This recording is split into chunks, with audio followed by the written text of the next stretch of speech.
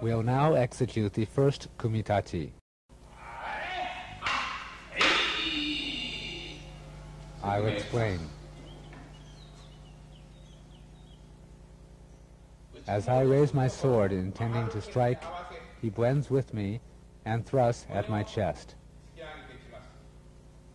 I step back, dodging his sword to protect my body and cut downward. He steps forward with his left leg to strike me. I step backward and parry him from the left hanmi. He comes to attack me in the right hanmi. Stepping back from the left hanmi to the right hanmi, I strike downward to the parallel position, parrying him, and then thrust.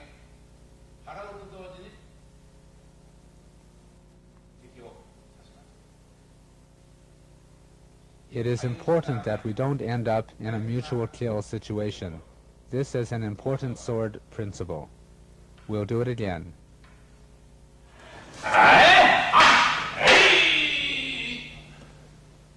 In the middle of the movement, we'll change to a sword-taking taijutsu variation. Before that, I will match his movement, attacking his wrist.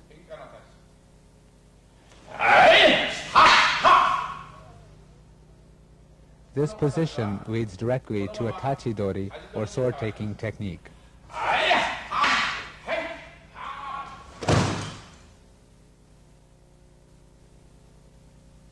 There is also a variation at the initial stage.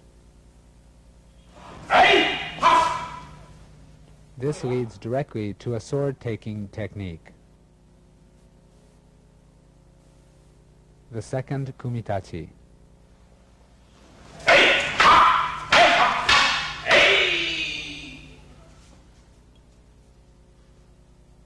I'll explain. He, the uchitachi, or attacking sword, slowly raises his weapon, and I, the uketachi, or receiving sword, match his movement. He attempts to strike my leg since he cannot attack my forehead, and I parry. As I attempt to cut his wrist, he thrusts using the movement contained in the seventh suburi. Then I take a step back, twisting my hips to parry his sword. He steps forward to strike me, and I take another step backward, and I again parry and press his sword downward. He again uses the thrusting movement from the seventh suburi, and again I parry. I counter his final strike by bringing my sword to the horizontal position to execute the decisive movement. We will now execute variations. All of the first kumitachi variations form the basis, and the others are applied techniques. If you think in these terms, you can freely create variations.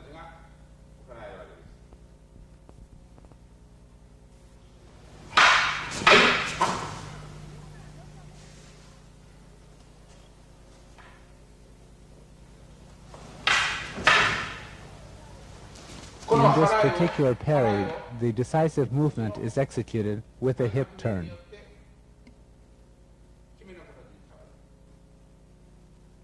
A sword-taking technique is also possible from the same position.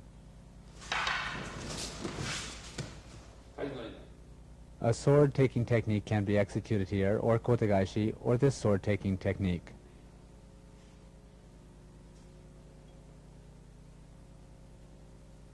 This is Aikido. The third kumitachi.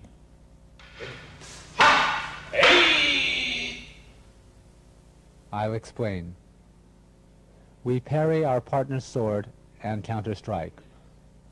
Or I check his intention and direct his mind downward. For example, when he strikes the kumitachi changes in the manner of the fifth suburi.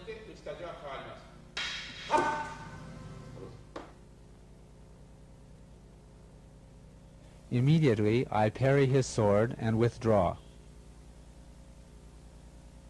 Then he again tries to strike me, and I parry, finishing in the horizontal position.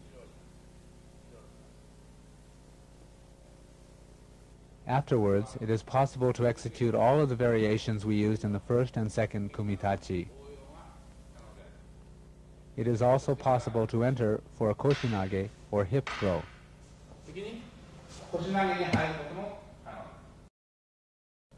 We'll execute the third kumitachi again. The fourth kumitachi.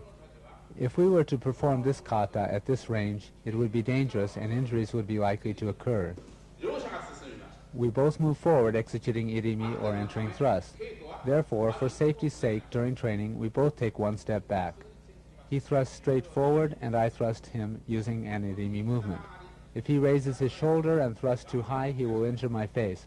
So please execute the proper basic thrust without raising your shoulder. I too must execute a proper irimi thrust to his chest.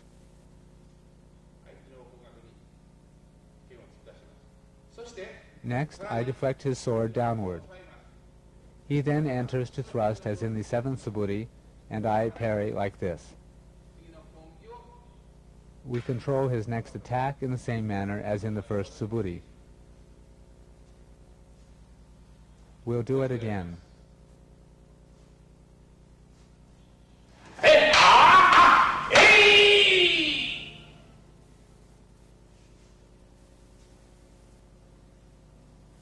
The fifth kumitachi.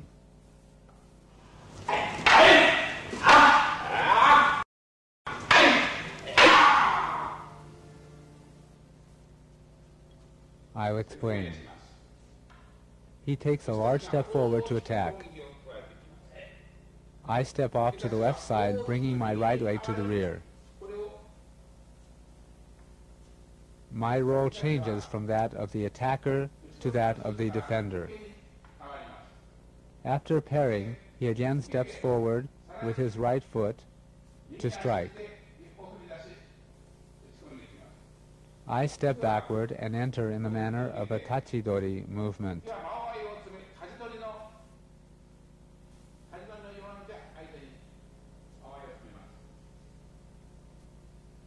Basically speaking, in Aikido, we never lock swords. If he pushes with his sword, we turn in this manner. Therefore, as soon as I approach him, he turns to the left entering and attacks my leg.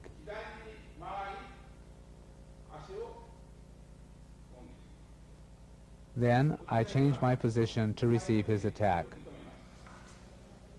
Next, he comes to strike my forehead. At that moment, I match his sword and deflect it downward.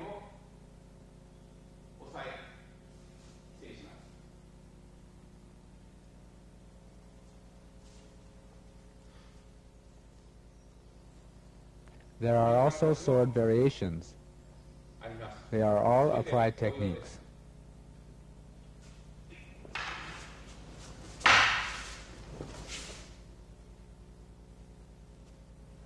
Another variation.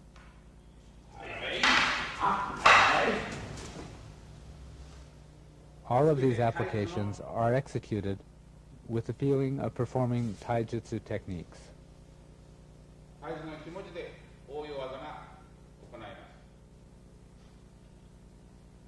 I'll do it again.